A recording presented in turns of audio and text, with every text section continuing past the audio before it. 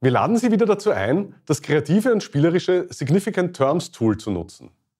Damit haben Sie die Möglichkeit, aus den verschiedenen Vortragsvideos des MOOC Ihr ganz persönliches Highlight-Video zusammenzustellen.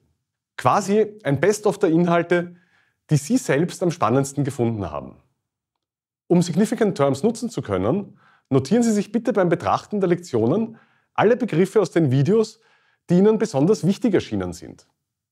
Um das machen zu können, finden Sie unter jedem Video einen Link zum Significant Terms Tool.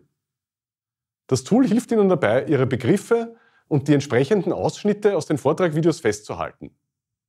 Weitere Infos und eine detaillierte Anleitung finden Sie direkt im Tool selbst. Wenn Sie alle Lektionen fertig angesehen haben, können Sie noch einmal ins Significant Terms Tool zurückkehren.